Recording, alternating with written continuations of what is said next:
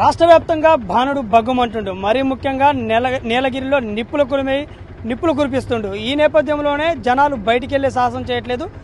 ముహూర్తాల season అయినప్పటికీ వాళ్ళు ప్రయాణాలు మాత్రం కొనసాగించలేకపోతున్నారు ఎండ దెబ్బకు వడదెబ్బకు ఎక్కడ ఇబ్బంది పడాల్సి వస్తుందని బయటికి వెళ్ళే ధైర్య సాహసాలు అయితే చేయట్లేదు. అయితే ఈ ప్రయాణికులు నమ్ముకొని తమ జీవనోపాధిని సృష్టించుకుంటున్న ఆటో డ్రైవర్లు ఆటో యూనియన్లు మాత్రం ప్రయాణికులు లేక తీవ్ర ఇబ్బందులు ఎదుర్కొంటున్నారు. వారికి పూట గడవక తాము ఎంతో ఆవేదనకు గురి చెందుతున్నట్లు మనకు తెలియజేస్తున్నారు.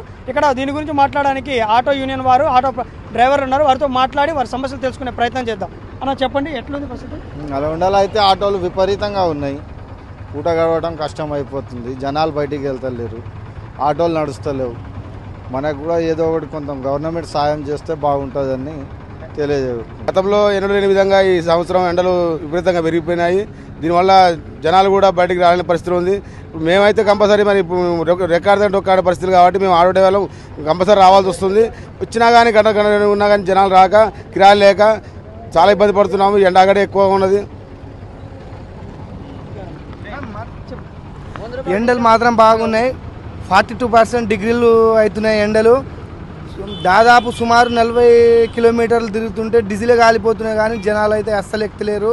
ఏమైనా గవర్నమెంటు సరే చలివేంద్రాలు గిట ఉన్నాయి కానీ ఎండలు మాత్రం యాండ ఒకటొకటి వేసిరు కానీ తాగని గిట నీళ్ళు లేకుండా అవుతుంది గవర్నమెంట్ అయితే.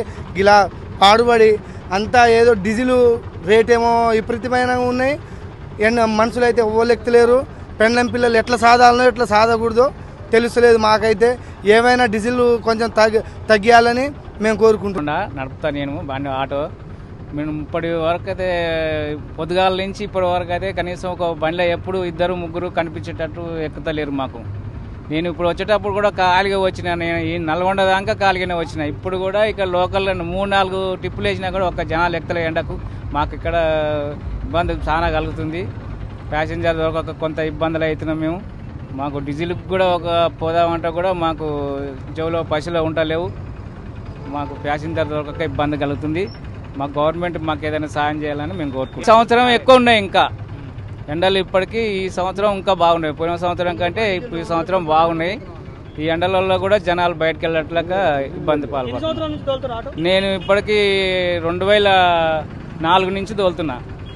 రెండు వేల నాలుగు నుంచి కానీ ఈ సంవత్సరానికి అయితే ప్యాసింజర్ దొరకక కూడా చాలా ఇబ్బందులు పడుతున్నాను ఇది పరిస్థితి ఎండలు విపరీతంగా పెరగడం వల్ల గతంలో చూసుకున్నట్టయితే కరోనాతో ప్రయాణాలు లేక తాము పూడగడకు ఇబ్బంది పడ్డామని మధ్యలో మళ్ళీ గత సంవత్సరం నుంచి డీజిల్ రేట్లు భారీ ఎత్తున పెరగడం వల్ల ఇంకొద్దిగా ఇబ్బంది పడ్డామని సంక్షోభంలో పోతున్నామని ఈ సంవత్సరం చూసుకున్నట్టయితే గత ఇరవై ఏళ్ళలో ఎప్పుడు లేని విధంగా ఎండలు విపరీతంగా ఉండడం వల్ల ప్రయాణాలు లేక ప్రయాణికులు లేక తమకు పూట గడవట్లేదని డీజిల్కి కూడా వెళ్ళట్లేదని డ్రైవర్లు ఆటో యూనియన్ల వారు తెలియజేస్తున్నారు.